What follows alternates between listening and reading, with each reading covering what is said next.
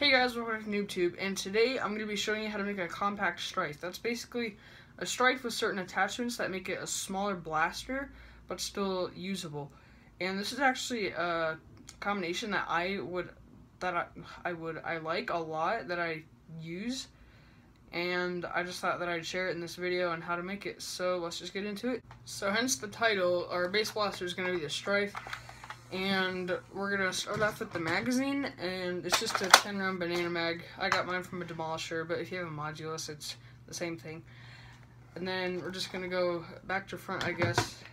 And what's more compact than a Spectre stock so that's pretty cool.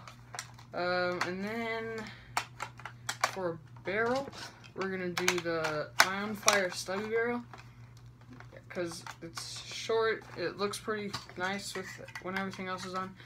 Modular scope because it's lower profile. It's not as like elevated as the RDS that Nerf came out with. And then the folding grip from the uh, Stealth Ops kit. So yeah, and the reason why I like this is because it's like one, uh, this arm is just got over from being broken, so it's weaker, but it can be a good pistol. Like it's it's a little bit heavy, but or not heavy, just front heavy, I guess. But at the same time, you can